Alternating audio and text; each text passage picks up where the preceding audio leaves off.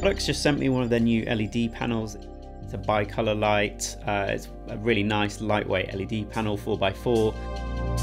I love panels like these because they're super versatile, they're really lightweight, which makes them really easy to rig all over the place.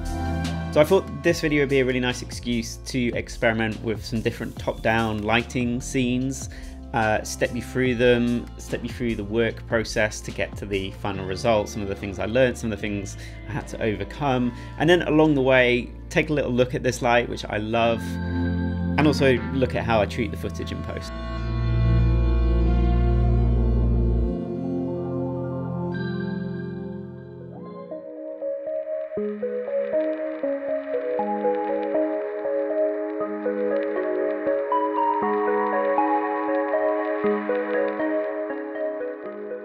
So this is shot on the Red Komodo on a 35mm lens, the Vespid lens, uh, with a speed booster.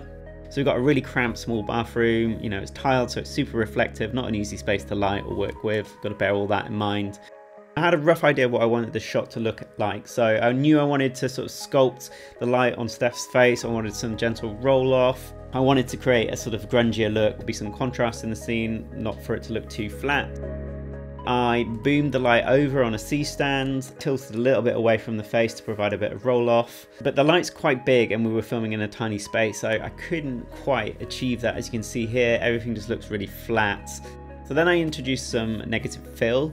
The neg wasn't quite cutting it, so then I began to fiddle around with the light and sort of jammed it and tilted it all the way forward so none of the light was really beaming down on Steph anymore and instead we're sort of using it as a bounce from above her. This really seemed to work, so now we've got this really lovely effect on her face. We can see now that we're really sculpting light across the face. The light is just kissing her left cheek, got this really nice roll off, and even the shadow side of the face is sort of gently lit. It's not too harsh in terms of roll off into shadow. And generally just getting this nice dramatic contrast to the shot.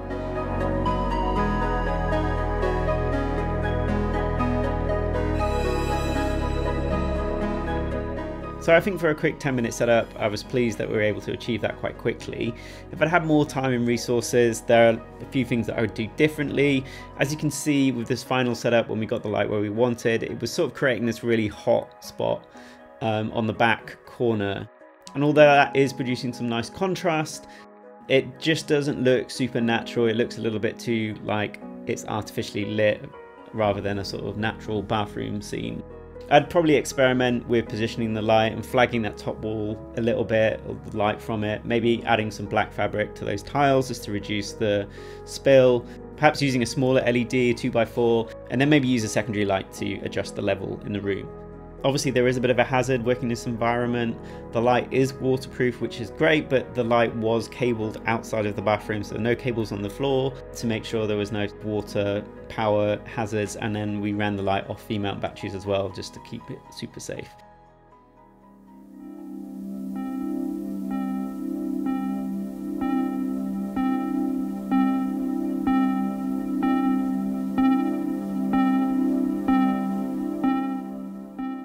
Next up, I kind of wanted to do something that was a little bit more abstract. This is actually a really simple setup done in our tiny front room and I'm using my huge 5-in-1 reflector. Obviously the size of this backdrop really limits how wide I can shoot on the lens because if I go too wide then it sort of breaks the magic of isolating me in the dark space and reveals that we're actually just in my living room. The Godox light is just boomed above me most of this is shot on the 75mm uh, DZOFilm Vespid. Also switched to the macro lens to get some of these really up close shots.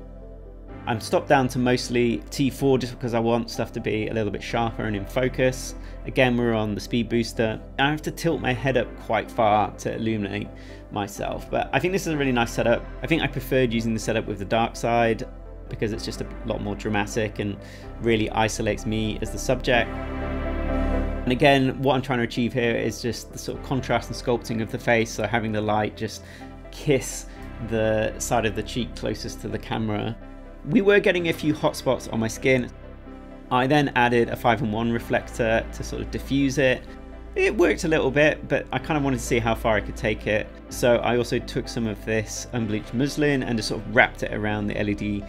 Obviously using so much diffusion really cut the output of the light, so if you were using this in a sort of studio setup and the light was a bit further away, you'd have to factor that in. But I really liked what the extra diffusion did and the way that it just affected the wrap around the face here. It's a lot more subtle and softer and the roll off and transition is much nicer. And you just avoid some of those hot spots on the skin. And it's a subtle thing, but I really liked it. One other thing I wanted to point out is just the eye light. If I'm looking up, like you can see here at the right angle, we catch a reflection of the light in my eye and it just makes everything pop and I love that. By having the eye light, you sort of maintain contact with the eyes in the image. I think if you are playing around with moodier, contrasty looks on faces, especially if you put a lot of roll off into shadow on one of the eyes, having some kind of eye light will really help sell this look and allow the eyes to pop.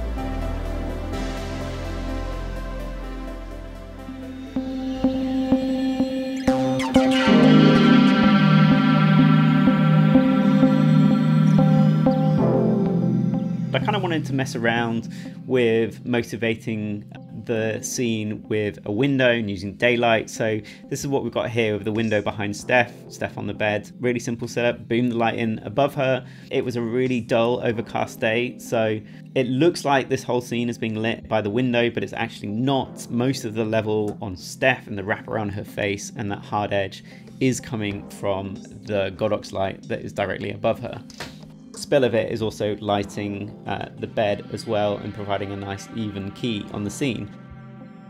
We put a blanket down because we have a white bed sheet and it was just providing too much bounce back up and sort of it was distracting and overwhelming the scene. So towards uh, the right of the frame, this area where we get some of those white bed sheets in shot. So I've actually just pulled that down in post.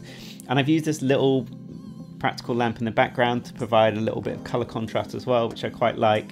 And I've just experimented with sort of moving and opening the curtains a little bit just to see how that affects the light and the scene and the play between dark and light. But yeah, I really like the gentle wrap again of light around her face, falling into shadow. It looks really natural. This light is just beautifully soft with the quite small softbox attachment on it. We've got the overhead lighting here to sort of give her a little bit of fill on her hair and then I'm also later introduced a hard spotlight behind her, again as if there's some hard light coming in from the window. And I also experimented with pushing some more light onto Steph's face.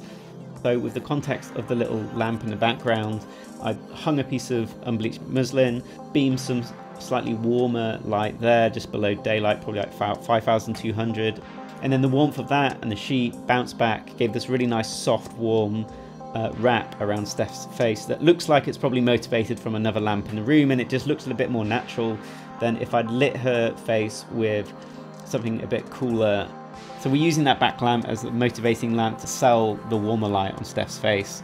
Uh, one thing I would have added is a bit of neg to the side of her face and just pushed a bit more shadow onto the right side of her face on the left side of frame uh, just to sculpt it a little bit more but there's a really nice even key on her face and I like the roll off on it.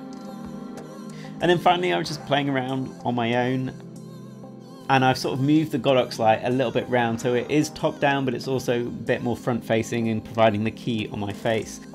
I wanted to do some harsher stuff with like trying to pretend that the sun was just at the edge of the window so I put the spotlight in the background. It's sort of just about works so you can't quite see the light stand in the background um, and then on this final shot kind of wanted like, I don't know, a sort of sunrise, sunset shot. I set all the color temperatures much warmer, the color temperature of the window was super cold. So in post, I just put a power window over it and then absolutely cranked up the color temperature to make that window look as if it was a bit warm. It doesn't quite work, but it's just a quick shot I was experimenting with to get this kind of moody orange glow that you've probably seen in the sort of Blade Runner-esque look.